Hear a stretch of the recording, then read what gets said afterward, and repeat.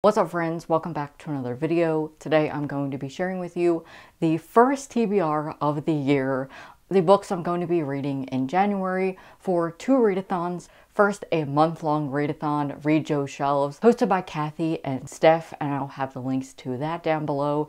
There is a bingo board that I'm going to be trying to complete, and this readathon is just all about reading your shelves and reading the books on your shelves. In 2020, we talked a lot about consumerism on BookTube, and this also is attributed to that conversation of reading books on your shelves. So maybe if you got some for Christmas or you just have some that are lying around, maybe you have some library holds, anything to you that is a book you have obtained you can read and try and check off the bingo board. So I have a couple books I would like to read for that readathon and they're also going to be overlapping with another readathon Kathy is hosting with Beck and this is the Rent readathon. I love Rent. It is one of my favorite musicals.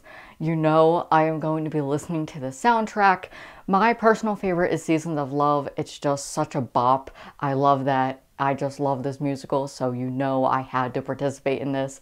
And the links to the host announcement videos and more information will be linked down below. This readathon has prompts based on the characters, so I have taken some and put them together to create a TBR, so let's just get into the video. I am attempting to get bingo for this readathon, but my main goal is to finish some of the books on my TBR. The first prompt is nonfiction, and I will be reading Piece of Cake by Cupcake Brown.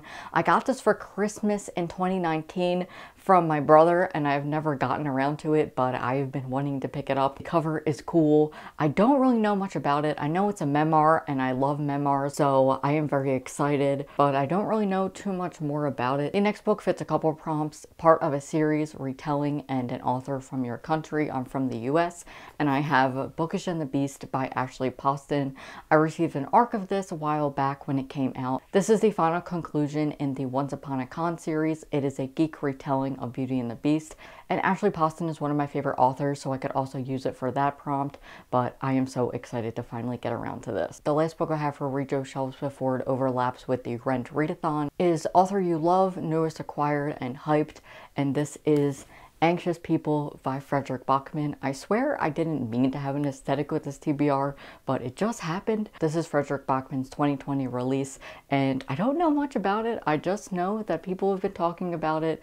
I know Emma from Drinking by Your Shelf, she loves this book. It was one of her favorites of the year, and I will pick up anything that Fredrik Backman writes, and I'm very excited to read this. Next, we move into the Rent Readathon, and this starts with Mark. The prompt is to read a biography or a memoir, and I will be reading Piece of Cake for that one. The next prompt is to read a book with a Jewish protagonist, first being a middle grade, A Place at the Table, and this also has purple on the cover, which is one of the prompts for Read Yo Shelves. And I have a young adult with a Jewish protagonist, and this is Color Me In by Natasha Diaz. Next is Roger, and this is to read a book about music and read a contemporary, and I have On the Come Up by Angie Thomas. This is an own voices novel, which is going to be fitting for the Read Yo Shelves prompt, and I'm sure she can fit other ones ones.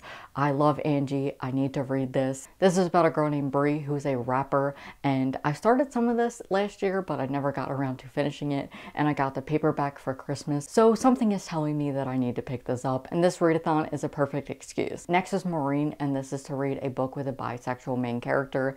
I'm torn. I'm not sure which one I'm going to read. I have an ER Gov Cool for the Summer by Dahlia Adler and Perfect on Paper by Sophie Gonzalez. Editing me here to just talk about the mistake I'm going to make in the next clip.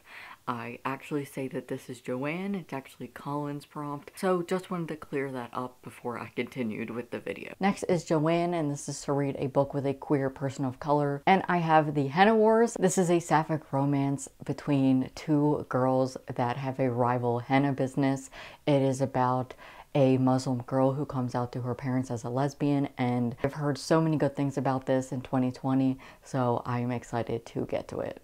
Next is Angel, and this is to read a book with trans rep, and I'll be reading The Avant-Gardes Volume 3.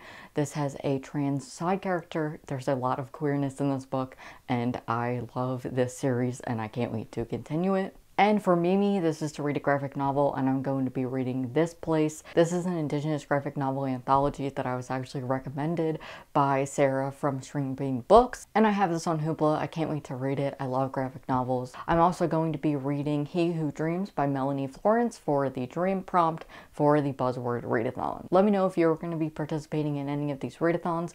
You'll probably see some of these books pop up in my secret TBR reading vlog because I do like to try and read some of the books that are on my TBR and not just add one. So you'll probably see some of these in that video. So those are all the books for January. Let me know what you're looking forward to reading this month.